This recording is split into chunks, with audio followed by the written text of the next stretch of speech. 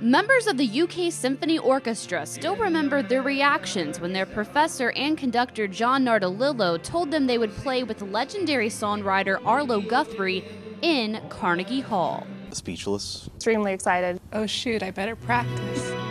Practice they have in preparation for a Thanksgiving holiday weekend performance in New York City. Arlo has played with uh, orchestras all over the country, yet he decided to make a recording uh, with the student orchestra here.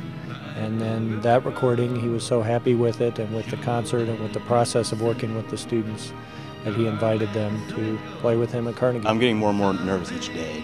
The students say they love working with Guthrie, and he's actually helped them put the performance in perspective.